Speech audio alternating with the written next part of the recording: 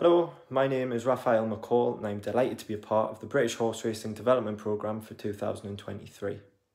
This summer I graduate from the University of Leeds after studying a degree in International History and Politics and I come from a non-racing background.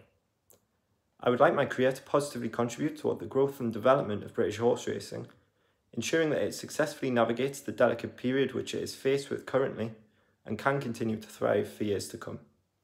I can't wait to get started learning about the inner workings of the British horse racing industry alongside honing my journalistic skills whilst on placement with the Racing Post.